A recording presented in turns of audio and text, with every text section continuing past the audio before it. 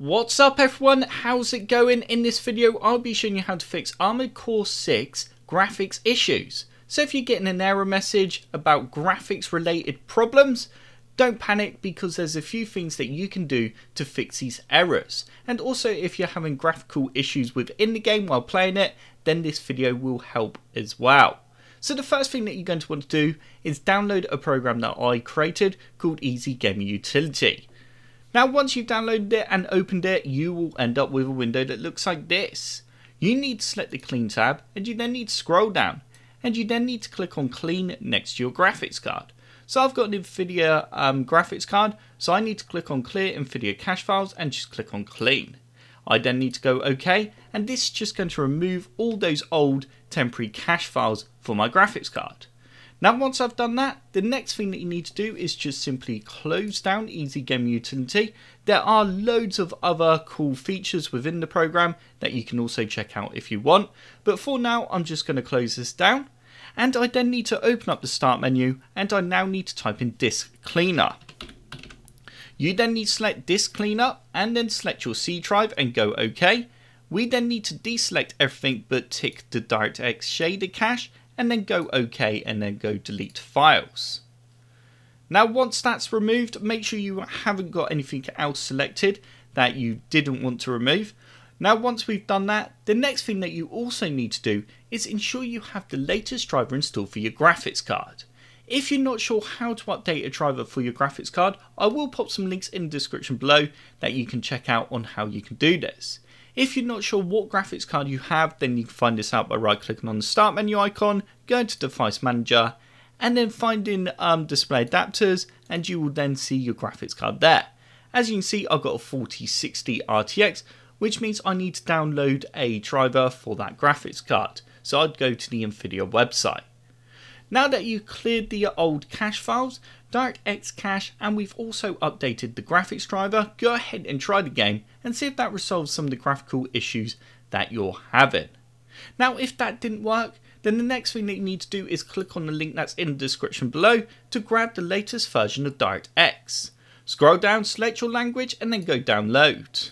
Once the file's finished downloading, run the setup file you then need to agree to the terms. If you do, click on I accept and go next. Deselect Bing Bar if you don't want to install it and then go next.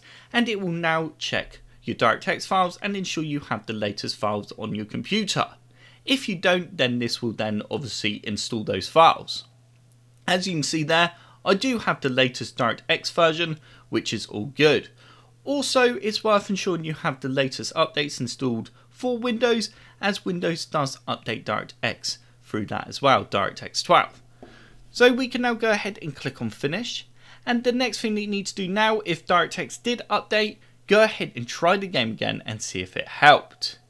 If it didn't, then the next thing that we want to do is there's two ways of doing this. You can open up File Explorer, click in the address bar and do the percentage symbol and go app, and then data, percentage symbol, and then enter.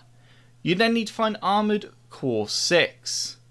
So if you have Easy Gamer Utility, what you can actually do, I closed it down, let me just open it again. What you can actually do is go to Files, find the game in the list, and then just click on Config Files, and it will then open up location. I am always keeping that list up to date with all the latest games and stuff like that, so it's very handy. So what we want to do now is find this file here called graphics config we need to right click on it and go rename and just simply add CS to the end of the file or you can add BK, whatever you want, but I'm just going to do CS. Now this is going to reset all your in-game settings. If you've um, done an incorrect setting or something that your graphics card's struggling on, then that's going to cause graphical issues. So by doing this, we are telling the game to redo all the settings back to their default values. Now go ahead and launch the game again and see if that helped resolve the issues that you've been having.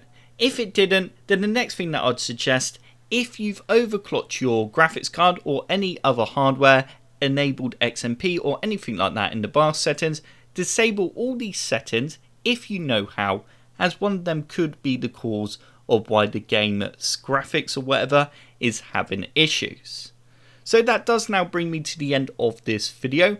I hope the video helped you out and you enjoyed it. If you did like it, then click the like button. If you want to see more videos, then click the subscribe button. If you do subscribe, then I will see you in the next video.